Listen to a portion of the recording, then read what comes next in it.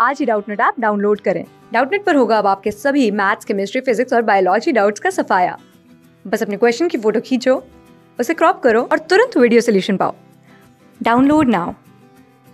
In which of the following type of flowers stamen are superior in position? पूछा गया है कि कौन से ऐसे फ्लावर होते हैं जहाँ पे स्टेमेन जो है वो सुपीरियर पोजीशन में पाए जाते हैं। तो बेसिकली तीन टाइप के फ्लावर्स पाए जाते हैं। जिनमें एक का ओवरी जो होता है, वो एकदम से ऊपर पाया जाता है और जो स्टेमन और पेटल्स जो होते हैं, वो नीचे से ऐसे ग्रो करता है। और ऐसे ओवरी को हम लोग हाइपोगाइनस ओवरी के नाम से जानते हैं। और यहाँ पे बेसिकली सिर्फ़ ओवरी ही सुपीरियर होता है और स्टेमन जो है, वो क्या होता है कि इन्फीरियर होता है। यानी ये नीचे से बन के सामने आते जो भी स्टेमन यहाँ पे पाए जाते हैं, इस तरीके से। वही नेक्स्ट अगर बात करें तो नेक्स्ट टाइप ऑफ़ जो प्लांट या फिर ओवरी पाया जाता है, उसको हम लोग एपीगाइनस बोलते हैं। क्योंकि ओवरी जो है, वो नीचे रहता है और स्टेमन्स और जो बाकी पेटल्स होते हैं, वो ऐसे ऊपर से ग्रो किए हुए पाए जाते हैं। और इसी को अगर देखें तो इसको हम लोग एपीगाइनस ओवरी कहते हैं।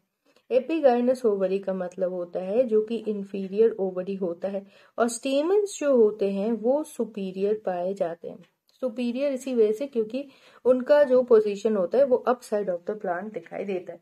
वही नेक्स्ट अगर बात करें तो नेक्स्ट टाइप ऑफ़ जो प्लांट पाए जाते हैं, वो यहाँ पे हो जाते हैं पेरीगाइनस और पेरीगाइनस ओवरी जो होता है, वो इस तरीके से मिडिल पोर्शन में होता है, जहाँ स्टेमन्स या फिर पेटल्स कुछ भी बात करें तो वो सेंटर से ऐसे ग्रो किया हुआ पाया जाता है। और यही half inferior half superior ovary को हम लोग पेरीगाइनस ओवरी के नाम से जानते हैं। तो इसी हिसाब से यहाँ पे बात किया गया है कि जहाँ पे स्टेमन सुपीरियर रहते हैं। तो अगर यहाँ पे हम लोग स्टेमन्स को देखें तो स्टेमन जो है वो एपीगाइनस फ्लावर में सुपीरियर पाए जाते हैं, जहाँ पे एपीगाइनस ही होता है। तो इसी हिसाब से अगर हम लोग देखें तो यहाँ पे थर्ड ऑप्शन जो है, वही यहाँ पे करेक्ट है और उसी को हम यहाँ पे टिक कर लेंगे।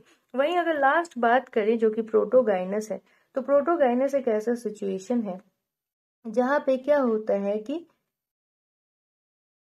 फीमेल जो ऑर्गन्स होते हैं रिप्रोडक्टिव ऑर्गन ये रिप्रोडक्टिव ऑर्गन्स जो है, वो मेल के बिफोर आ जाते हैं।